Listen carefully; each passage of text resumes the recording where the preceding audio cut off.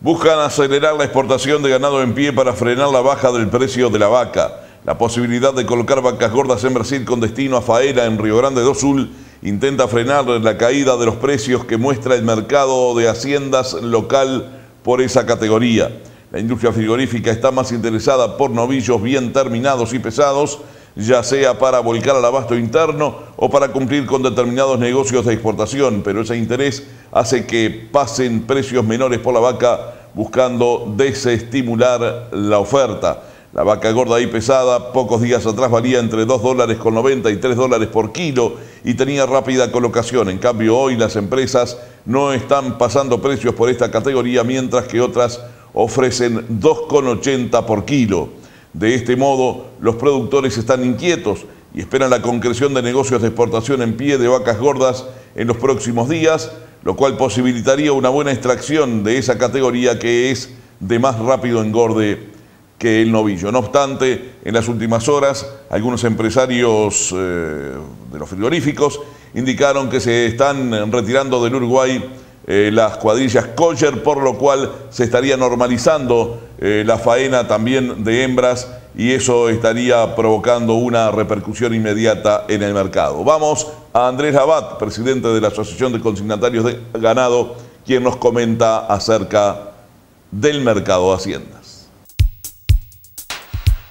Mira, te digo que hoy en día estamos con un mercado eh, de repente con el novillo ávido, eh, el novillo pesado, la vaca pesada, la vaca liviana un poco de, un poco de cuesta más un poco colocarla pero en un mercado te diría que, vemos que para abril la faena, si Dios quiere, va a aumentar, eh, por lo menos es lo que hemos estado palpando. Eh, ya se están viendo o pidiendo permisos para algunos negocios de exportación de vaca en pie para Brasil. Eso quiere decir que, llega un punto el precio en lo cual eh, los ganados, si no se matan acá, van para Brasil. Entonces creo que es un buen, digo, por lo menos vemos que, que cuando empiezan a bajar vemos que, bueno, esto hace que le ponga un piso ¿no? de repente a, los ganados. Eh, en muchas plantas las cuadrillas collas se están retirando esta semana eh, y bueno, y vemos plantas que de repente no nos tomaban vacas eh, hace 15 días o 10 días atrás ya nos están dando entradas para abril por alguna vaca y alguna vaca pesada y otra algunas más livianas. así que creo que, que si bien el mercado venía, por lo menos con buena demanda del novillo, creo que, que la vaca era lo más pesado para vender, creo que se va a ir destrabando a poco. ¿A qué valores se concretan hoy los negocios? Y los negocios en el eje de 320, 325 el novillo y en el eje de la vaca 285, 290, más o menos esos son los valores que se concretan hoy por hoy por ganados pesados ¿no? y, buenos.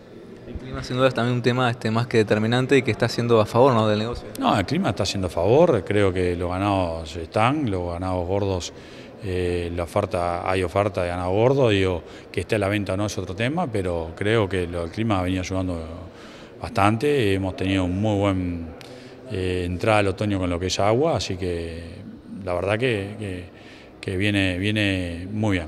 Con respecto a la región, ¿cómo se encuentra un poco la carne? ¿Cuál es la, competitividad? No, yo creo que bien, digo, en la medida que Brasil ya subió los valores, ya han subido los valores, eh, antes nos quejábamos de que estábamos más alto que Brasil, que no, no, no, no era bravo. Bueno, ahora Brasil ya, ya ha subido, está bastante más que acá. Eh, y bueno, entonces yo creo que vos mirás la región y siempre tiende más acá, más allá, de repente no estar iguales, pero sí equilibrarse. Entonces vos ves un Brasil que bajó y acá bajamos, después, más tarde.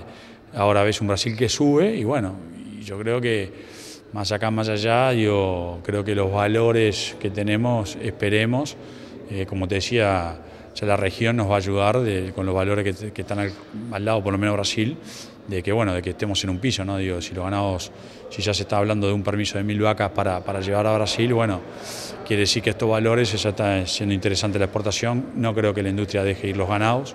Me parece a mí digo, que la industria debería de, no dejar ir los ganados, por lo tanto creo que, que, yo apostaría un poco más los valores o por lo menos aumentaría la faena para esos ganados que se vayan, que no, que poder recapitalizarlos acá, ¿no?